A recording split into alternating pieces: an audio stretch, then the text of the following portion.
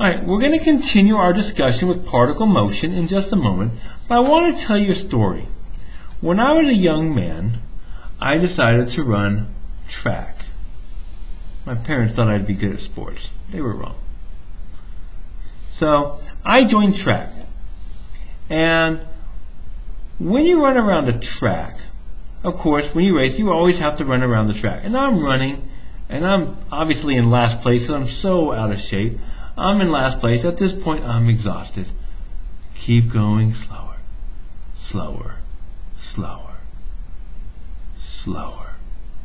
At this point now, I'm crawling. I'm on my hands and knees, begging for somebody to end, and slower. At this point, you know, the other runners, they take pity on me, and, you know, they, they, uh, they carry me, you know, they carry me to the finish line. Came in dead last. Did that for an entire, for two years. Worst track star ever in the history. But then I took physics and I learned something. Displacement. And I told my coach, Coach, I have an idea put me in. He's like, Warren, you haven't finished a track meet in two years. I don't think this is the right thing for you. And I'm like, Coach, give me one more shot. And he's like, all right, you got one more shot at this. And here I am. I'm standing at the front. The gun goes off. I don't move. My coach is like, what are you doing? You're going to lose again. I'm like, no, coach. Because if I go around the track, I'm just going to wind up exactly where I started my displacement is zero. So I'm going to win automatically. And I did. I won world record time. Of course, that's not how it, what, what really happens, right? Dis, displacement and two and total distance are two different ways that we can measure distance. And that's what we're going to talk about in this video. So, the first question asks us to find the displacement of our particle, an example in the first video, over the first five seconds. Now, what is displacement? Okay. Displacement is the change in position, like your delta y, change in y. And that is your final position minus your initial position. You are looking only at the endpoints. And that's all we really care about. We're only looking at the endpoints. So I'm going to go ahead and write out my function here, s of t, and that is t cubed minus 6t squared plus 9t. So when I'm looking for displacement, what I'm looking for is just where did I finish S of 5 minus where I started. My final minus my initial position at t equals 5 minus t equals 0 there. So if I plug in S of 5 into here, now I don't know what S of 5 is, so I am going to use my uh, remainder theorem, this becomes 1, negative 6, 9. Now there's another condition here. There's a 0 there, so we have to put that there. We get 1, 5, negative 1, negative 5, 4, 20, and 20. So my initial position, or my final position, is I am 20 meters away from where I started. My initial position, I can just plug that in. That's just 0. And what we wind up with is 20 meters.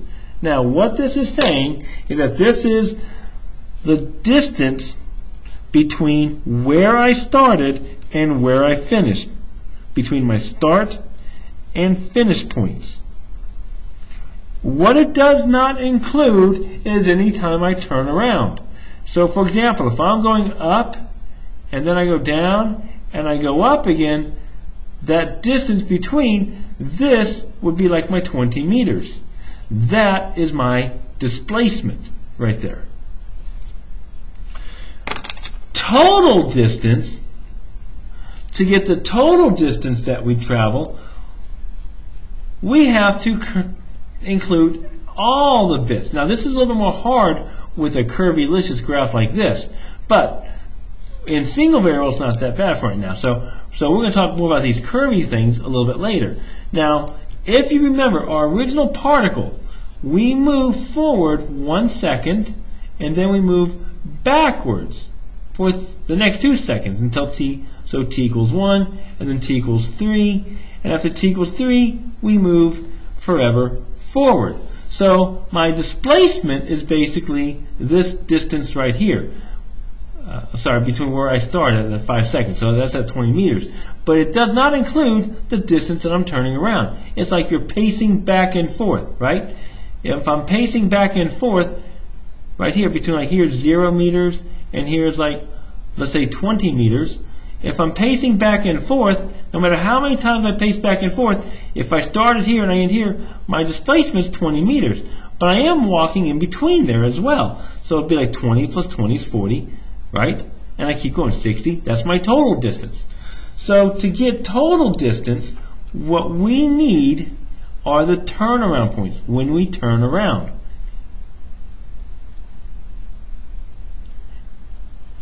And we found those in the first page, and in the first part. That's right here. When is my particle at rest? At t equals 1 and 3 seconds. Because take a look. Between 0 and 1, I'm going forward. Between 1 and 3, I'm going backwards. So my turnaround points are my critical numbers. So that's what we have to find. We have to get our critical numbers.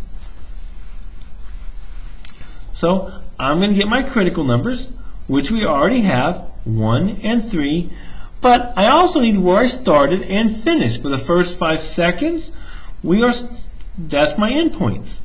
I'm starting at t equals 0. I'm ending at t equals 5. And if you're thinking, that reminds me of candidates test. You're exactly right. That's what we're going to use to solve this. So what we're going to do is we're going to set up our candidates test. So we have t and we have s of t, so I'm looking for a position.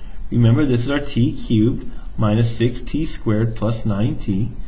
My endpoint, 0 and 5, and my critical numbers, 1 and 3.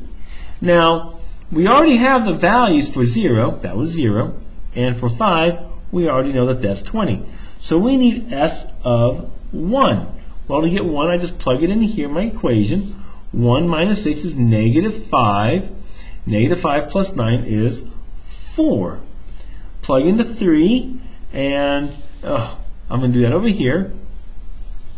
1, negative 6, 9, 0.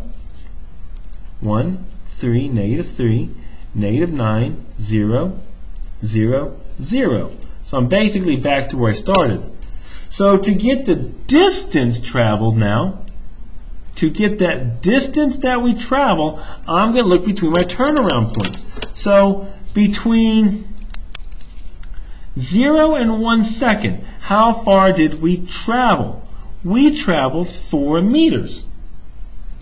Between 1 and 3 seconds, how far did we travel? Not negative 4 meters. Distance is always positive we traveled another 4 meters. It's like this. If I traveled 4 meters this way, 4 meters that way, my total is 8 meters so far. A lot of times people want to put down this negative right here. That's when you get into displacement. Then between 3 and 5 seconds, how far do we travel? Oh yeah, 20 meters. So my total distance I traveled is 28 meters and that's our total distance that we traveled right there. All right. For part H, it asked us to find the acceleration at time t. So we already know uh, our velocity. Remember, we know velocity is 3t squared minus 12t plus 9. Acceleration, remember, is the derivative of velocity. So that's just going to give me 6t minus 12. So there's our acceleration. We wanted to find the acceleration after 4 seconds. So if I plug that in, that's 6 times 4 minus 12 And be careful, we're going to get 12, but remember, this is acceleration, meters per second squared. And there's our answer, right here. Okay, so if I wanted to graph my position, velocity, and acceleration, remember, we already got position, 1 and 3. Position goes up, then it comes down at 3, and then it goes back up. My velocity curve, it intercepts at 1 and 3. So if this is my position, s of t, to get velocity, it intercepts here. And notice, this is a phase, this is a parabola, so I can graph that. There it is. So there's my velocity curve. Now, to graph acceleration, I need to find out where it crosses the x-axis. Now notice, I'm setting it to 0. 6t minus 12 equals 0, t equals 2. Notice what happens between 1 and 3 at 2. Ah, I have a point of inflection. Remember, this is my point of inflection, which is where that concavity changes from negative to positive. We'll talk about that. So this is going to cross at 2. And it's a line, so it's going to go kind of like this, like so. And there is our acceleration graph right there. Notice that the POI, where the acceleration crosses and where the v of t equal v prime of t, the slope of v, of, the slope of my velocity is zero, they should all kind of line up right there.